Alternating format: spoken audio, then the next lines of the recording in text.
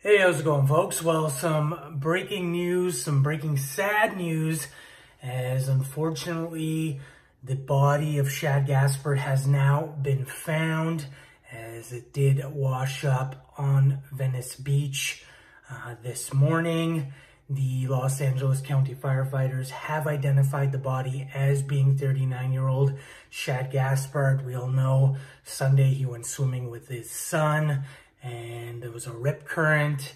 And basically what happened, lifeguards ran into the water. He said, save my son. And then he was not seen. Rescuers worked basically like the last few days. They eventually stopped the search. Some wrestlers actually went to Venice Beach, just kind of, uh, you know, poking around, things like that.